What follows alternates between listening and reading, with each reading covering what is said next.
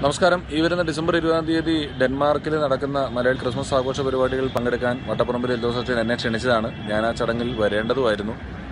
ഈ ഷോയ്ക്ക് ശേഷം ഞാൻ പോകേണ്ട ഒരു യു കെ ഷോയ്ക്ക് വിസ അടിക്കുന്നതിന് വേണ്ടി പാസ്പോർട്ട് മദ്രാസിലെത്തുകയും നിങ്ങളെല്ലാം അറിയുന്നതുപോലെ മദ്രാസിൽ അപ്രതീക്ഷിതമായിട്ടുണ്ടായിട്ടുള്ള ഈ വെള്ളപ്പൊക്കം കാരണം കോൺസുലേറ്റ് അടച്ചിടുകയും ആ പാസ്പോർട്ട് എന്ന് കിട്ടുമെന്നുള്ളതിൽ ഒരു തീരുമാനമില്ലാണ്ടായി പോവുകയും ചെയ്തു.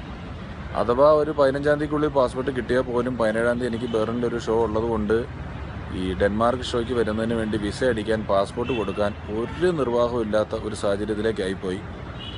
ഈ വെള്ളപ്പൊക്കവും ഇത്തരത്തിലുള്ള കോൺസുലേറ്റ് അടച്ചിടലുകളുമെല്ലാം തീർത്തും അപ്രതീക്ഷിതമായി സംഭവിച്ചു പോയതായതുകൊണ്ട് വരാൻ പറ്റാതായി പോയതാണ്. എങ്കിലും ഞാൻ പറഞ്ഞ വാക്ക് എനിക്ക് പാലിക്കാൻ പറ്റാതെ പോയതിൽ ഡെൻമാർക്കിലുള്ള മലയാളികളോടെല്ലാം ഞാൻ മാപ്പ് ചോദിക്കുന്നു. മറ്റൊരവസരത്തിൽ വിളിച്ചാൽ വരാമെന്ന് വാക്ക് തരികയും ചെയ്യുന്നു. എല്ലാവർക്കും എന്റെ ക്രിസ്തുമസ് പുതുവത്സര ആശംസകൾ. സത്യമായിട്ടും സോറി